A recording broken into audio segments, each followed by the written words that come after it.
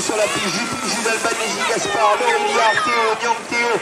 Girard, Matteo, Blandin, Nathan, voilà, vous connaissez tout et on va voir comment les choses se décantent et s'organisent, si je puis dire. Et c'est les pilotes à la plaque numéro 27, c'est Juppy, le Jules, le pilote de temps, Paris Camo.